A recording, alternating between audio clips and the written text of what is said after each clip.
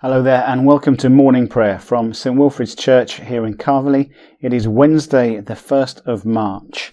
Uh, it's the first, second Wednesday in Lent. I guess we started last week on Ash Wednesday. I hope your Lent is going well. We'll think a little about what that is as we go through this. Um, one of the things that comes up during Lent are these things called Ember Days. If you're following this on the on the church lectionary site or the the daily prayer app, You'll see that this is an ember day. Customarily, this is when the church prays for those who are contemplating their calling and vocation, specifically often for those preparing for ordination, those who are going to become deacons or priests in the Church of England, vicars of some sort. Of course, uh, those of you who know me in the parish will be very aware of how not special I am. Um, not that I say that as a humble brag or anything, but you know, all of God's people are called. And I firmly believe that we all have things that only we are called to do. And I love the vision that the church has put together of calling days when we pray for our vocation ember days. Embers are beautiful things. You get them at the back end of a fire, I'm sure you know. And if you just give them a little more fuel and breathe on them, then new flames spring. Uh, there is much life in things containing embers, which is all of us, and we are all called as are those preparing for ordination, to stir those embers up into flame and heat and light and warmth and joy. So, as we come to our time of prayer, uh, our intercessory prayer later in the prayer, uh, we'll be praying for Lizzie, our incoming curate, who will join us from July, but for all of us that that we find ways this Lent to cooperate with God and stir up in ourselves more passion for following Him well. With that said, by way of an overly long introduction, let us still ourselves and settle into that space where we find God already waiting for us. O Lord, open our lips, and our mouth shall proclaim your praise. Hear our voice, O Lord, according to your faithful love. According to your judgment, give us life. Blessed are you God of compassion and mercy, to you be praise and glory forever. In the darkness of our sin, your light breaks forth like the dawn, and your healing springs up for deliverance. As we rejoice in the gift of your saving help, sustain us with your bountiful Spirit, and open our lips to sing your praise. Blessed be God, Father, Son, and Holy Spirit. Blessed be God for ever. The night has passed and the day lies open before us, let us pray with one heart and mind. As we rejoice in the gift of this new day, so may the light of your presence, O God, set our hearts on fire with love for you, now and forever. Amen. The first psalm appointed for today, the one we'll read, is Psalm 6. O Lord, rebuke me not in your wrath, neither chasten me in your fierce anger. Have mercy on me, Lord, for I am weak. Lord, heal me, for my bones are racked. My soul also shakes with terror. How long, O Lord, how long? Turn again, O Lord, and deliver my soul. Save me for your loving mercy's sake. For in death no one remembers you, and who can give you thanks in the grave? I am weary with my groaning. Every night I drench my pillow and flood my bed with tears. My eyes are wasted with grief and worn away because of all my enemies. Depart from me, all you that do evil, for the Lord has heard the voice of my weeping. The Lord has heard my supplication. The Lord will receive my prayer. All my enemies shall be put to shame and confusion. They shall suddenly turn back in their shame. Glory to the Father, and to the Son, and to the Holy Spirit, as it was in the beginning, is now, and shall be forever. Amen. The first reading is from Jeremiah chapter 5. Declare this in the house of Jacob, proclaim it in Judah. Hear this, O foolish and senseless people, who have eyes but do not see, who have ears but do not hear. Do you not fear me, says the Lord? Do you not tremble before me? I placed the sand as a barrier for the seas, a perpetual barrier that it cannot pass. Though the waves toss, they cannot prevail. Though they roar, they cannot pass over it. But this people has a stubborn and rebellious heart. They have turned aside and gone away. They do not say in their hearts, Let us fear the Lord our God, who gives the rain in its season, the autumn rain and the spring rain, and keeps for us the weeks appointed for the harvest. Your iniquities have turned these away, and your sins have deprived you of good. For scoundrels are found among my people. They take over the goods of others. Like fowlers, they set a trap. They catch human beings. Like a cage full of birds, their houses are full of treachery. Therefore they have become great and rich. They have grown fat and sleek. They know no limits in deeds of wickedness. They do not judge with justice the cause of the orphan to make it prosper. They do not defend the rights of the needy. Shall I not punish them for these things, says the Lord? Shall I not bring retribution on a nation such as this? An appalling and horrible thing has happened in the land. The prophets prophesy falsely, and the priests rule as the prophets direct. My people love to have it so, but what will you do when the end comes? A hard sounding passage, but a reminder that God's prophets have always spoken of the need for us to stand up for justice, and that normally means standing up for widows and orphans and those who are without.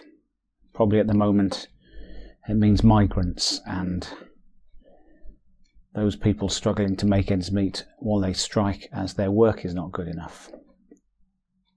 Let us not be found on the side of those who need the Lord on their side.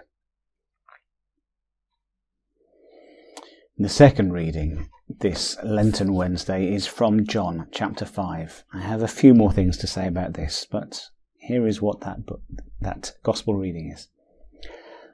Jesus says this I can do nothing on my own. As I hear, I judge, and my judgment is just, because I seek to do not my own will, but the will of him who sent me. If I testify about myself, my testimony is not true. There is another who testifies on my behalf, and I know that his testimony to me is true. You sent messages to John, and he testified to the truth. Not that I accept such human testimony, but I say these things so that you may be saved. He was a burning and shining lamp, and you were willing to rejoice for a while in his light. But I have a testimony greater than John's. The works that the Father has given me to complete, the very works that I am doing, testify on my behalf that the Father has sent me.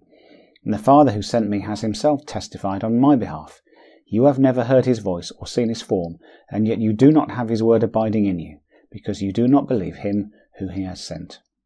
You search the scriptures because you think that in them you have eternal life, and it is they that testify on my behalf. Yet you refuse to come to me to have life. I do not accept glory from human beings, but I know that you do not have the love of God in you. I have come in my Father's name, and you do not accept me. If another comes in his own name, you will accept him. How can you believe when you accept glory from one another and do not seek the glory that comes from the one who alone is God? Do not think that I will accuse you before the Father. Your accuser is Moses, on whom you have set your hope. If you believe Moses, you would believe me, for he wrote about me. But if you do not believe what he wrote, how will you believe what I say? There's a lot of sermons that could be preached there, and that's not what morning prayer is for if that has prompted questions in you, what Jesus is talking about, if you read it in its context, you'll see who he's talking to and and much of what that's about. What struck me was the following.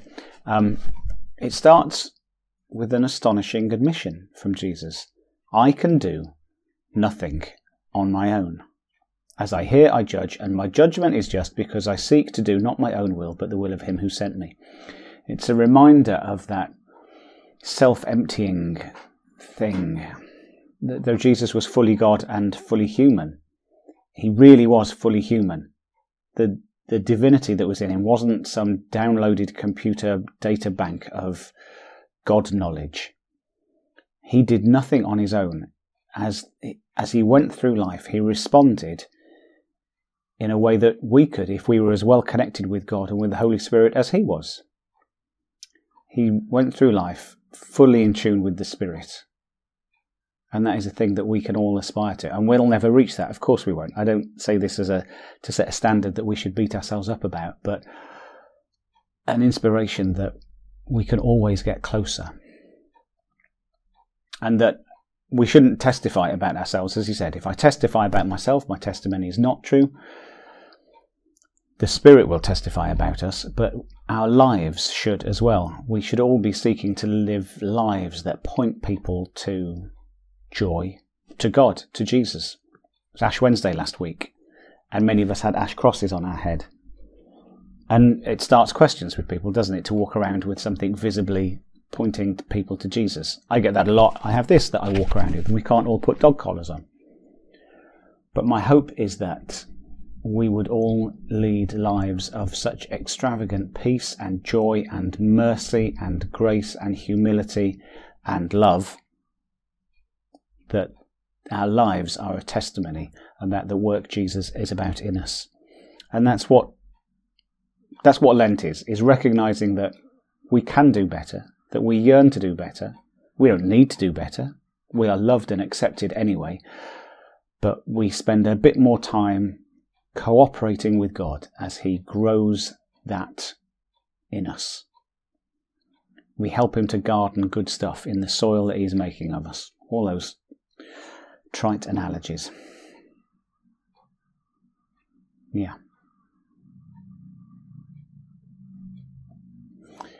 And so we respond with the Benedictus. I will give you shepherds after my own heart, who will feed you with knowledge and understanding.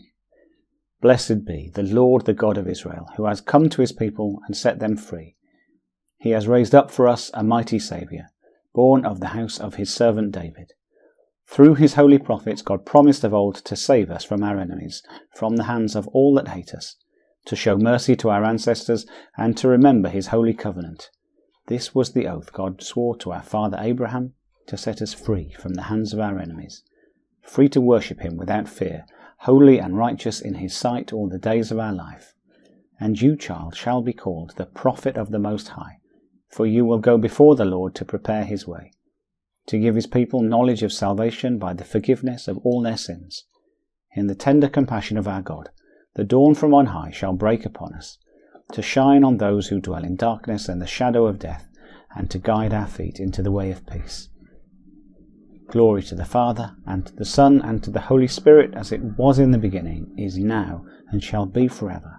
Amen. I will give you shepherds after my own heart, who will feed you with knowledge and understanding. So let us pray for the Church and the world and thank God for his goodness. We thank you that you promised to send us shepherds after your own heart to care for ours. And we pray for all those in leadership over us, for our bishops, for priests everywhere, especially those priests here in this parish. And we pray for all those exploring ordination at this time or preparing for it. We thank you for them, for the work they will do, and we thank you for Lizzie. Would you bless, strengthen, and encourage her as she prepares to join us would there be just the right things for her to do and the people for her to love and guide and learn from and with as she is here. But more than this, Lord, would you blow on the embers in each of our hearts? Help us to stir up with you the fire and light and warmth that you bring, life in all its fullness. Help us to be flames that draw people to you. Lord, in your mercy, hear our prayer. Lord, we pray for we pray for the international migrants and refugees, all those who are fleeing countries which are not good enough for them, or are even dangerous, oppressive, and violent places. We lament for our part as a nation over the last few hundred years in creating many of the issues that drive people to us. Help us to see our part in that as we consider our part in making amends. Help us to deal with them justly, to work out what our fair share of housing those without homes is. Help us to seek genuinely to do good and to bear some cost. And may every community in this land be one that seeks to model your love to all people. We pray for our leaders, nationally and internationally, that they have wisdom and compassion as they make decisions about how best to welcome those refugees and migrants, but also how to reduce the harms in the world that cause people to need to flee. Lord, in your mercy, hear our prayer.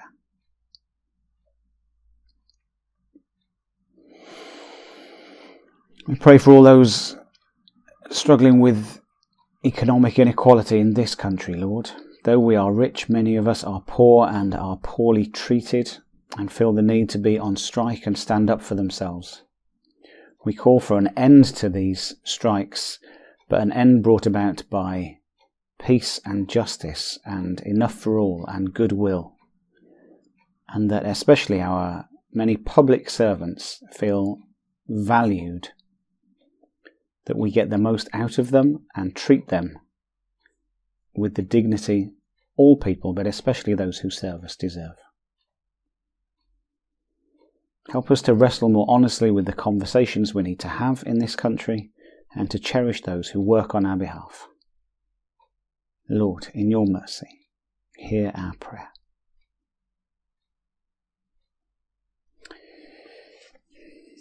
We turn to our prayer card for this month, and you can pick these up in church. We'll have a new one every month. We'll be starting a new one any minute now. But the one I have as we prepare this video, Lord, would you be with Claire as she continues to be supported in hospital? With John as he has or recovers from his eye operation. For Esther and her family, as they love her and make her comfortable in her final days and come to terms with their grief.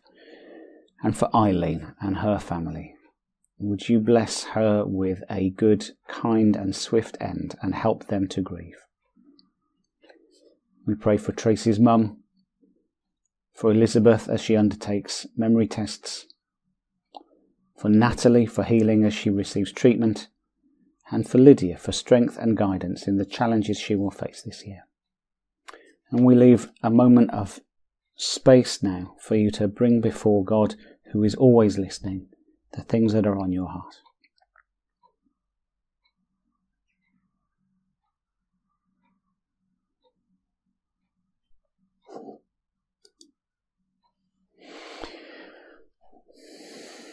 Almighty God, who called your servant David to be a faithful and wise steward of your mysteries for the people of Wales, in your mercy grant that, following his purity of life and zeal for the gospel of Christ, we may with him receive the crown of everlasting life through Jesus Christ, your Son, our Lord, who is alive and reigns with you in the unity of the Holy Spirit, one God, now and forever. Amen. Trusting in the compassion of God, as our Saviour taught us, so we pray. Our Father in heaven, hallowed be your name. Your kingdom come, your will be done, on earth as in heaven. Give us today our daily bread. Forgive us our sins, as we forgive those who sin against us. Lead us not into temptation, but deliver us from evil. For the kingdom, the power, and the glory are yours, now and forever. Amen.